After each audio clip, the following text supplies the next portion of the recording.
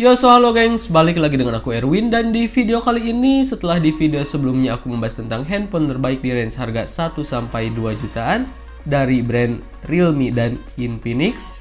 Nah, kali ini aku bakalan bahas hal serupa, yaitu tentang handphone terbaik di range harga 1 sampai 2 jutaan yang pastinya cocok dibeli dan dipakai di tahun 2022 ini. Tetapi dikhususkan dari brand Samsung.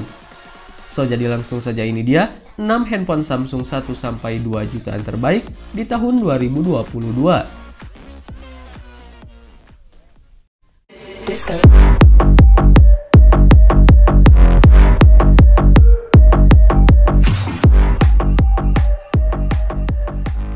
Galaxy A03s mengusung layar LCD seluas 6,5 inci dengan resolusi HD+, yang menganut desain Infinity V. Di bagian atasnya terdapat poni atau notch yang memuat kamera selfie 5 megapiksel. Di punggungnya terdapat tiga kamera yang dimuat dalam modul berbentuk persegi panjang berikut LED flash. Konfigurasinya terdiri dari kamera utama 13 megapiksel, kamera makro 2 megapiksel, dan kamera depth sensor 2 megapiksel.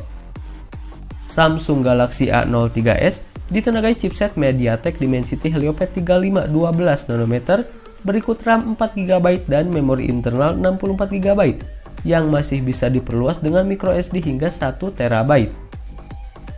Adapun spesifikasi lainnya mencakup baterai 5000 mAh serta sistem operasi Android 11 yang dibalut antarmuka One UI Core 3.1 khas Samsung.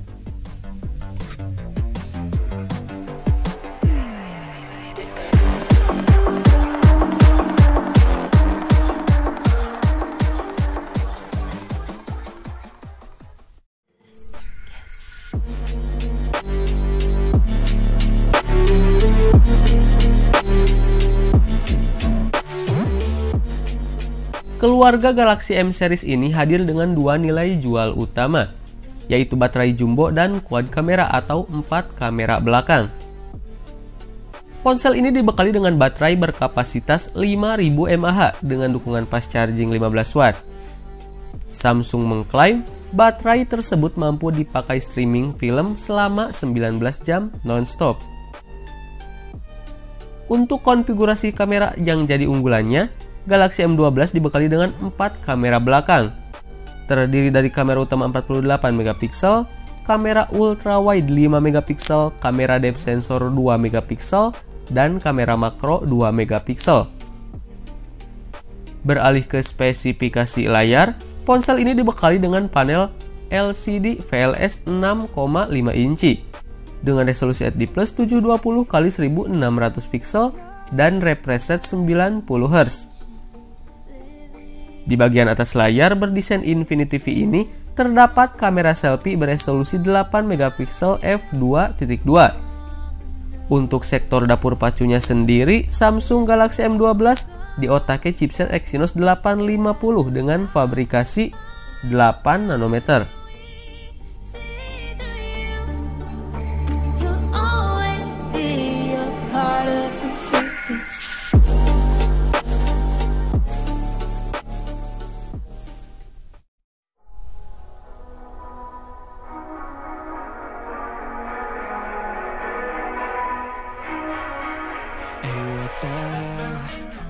Ponsel ini mengunggulkan kapasitas baterai jumbo 5000 mAh dan memori penyimpanan sebesar 128 GB.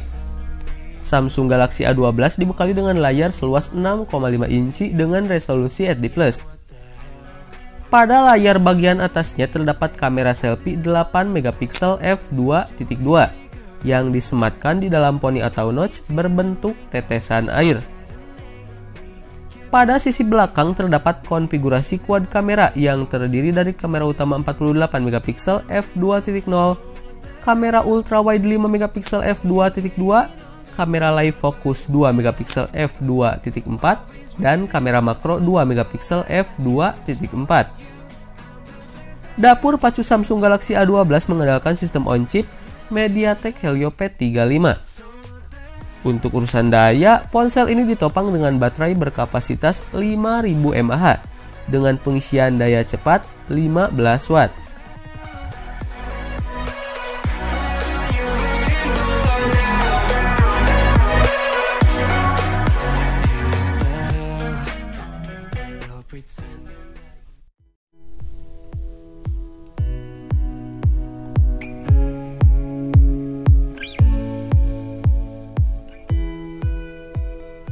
Ponsel yang menghuni segmen kelas menengah ini datang dengan fitur andalan berupa baterai berkapasitas 5000 mAh serta dukungan fast charging 25 watt.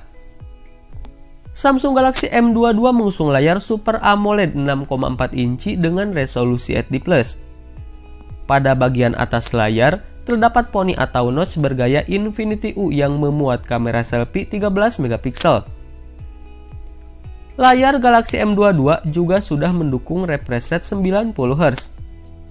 Pada bagian punggung Galaxy M22, terdapat 4 kamera yang dimuat dalam modul berbentuk persegi, meliputi kamera utama 48 megapiksel, kamera ultrawide 8 megapiksel, kamera makro 2 megapiksel, dan kamera depth sensor 2 megapiksel. Samsung Galaxy M22 ditenagai chipset MediaTek Helio G80 yang dipadukan dengan RAM 6 GB dan kapasitas penyimpanan 128 GB yang masih bisa diperluas dengan microSD hingga kapasitas 1 TB.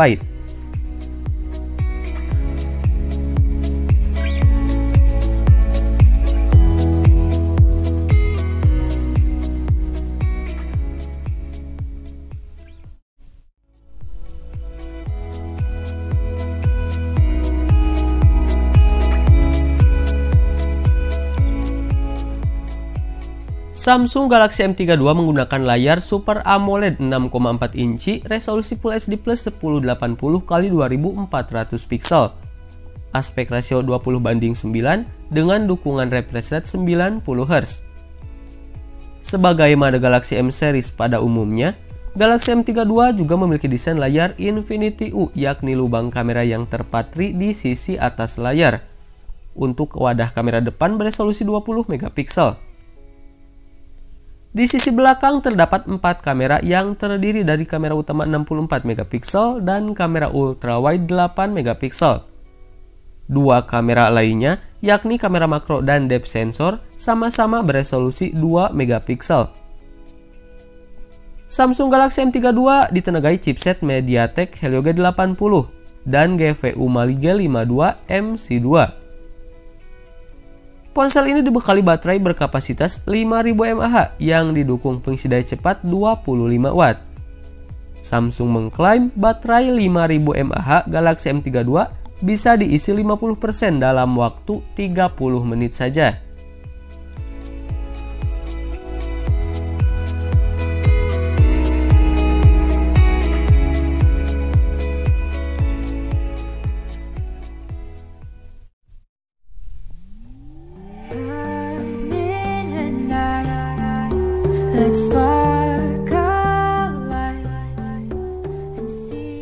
Model ini merupakan saudara dari Galaxy A22 versi 5G yang sudah diluncurkan di Indonesia sebelumnya.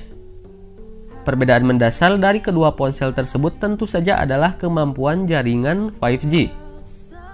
Selain itu, chipset yang ditanamkan juga berbeda meskipun sama-sama mengadopsi MediaTek. Galaxy A22 versi 4G diotaki MediaTek Helio G80 Handphone ini dibekali layar berbentang 6,4 inci, lebih kecil dibanding Galaxy A22 5G yang sedikit lebih lebar. Jenis layarnya juga agak berbeda, di mana Galaxy A22 menggunakan jenis panel Super AMOLED, sementara versi 5G menggunakan jenis layar LCD. Galaxy A22 dibekali kamera swafoto beresolusi 13 megapiksel f2.2. Sementara di bagian belakang, Galaxy A22 dibekali 4 kamera yang terdiri dari kamera utama 48 megapiksel f1.8, kamera ultrawide 8 megapiksel f2.2, kamera makro 2 megapiksel f2.4 dan kamera depth sensor 2 megapiksel f2.4.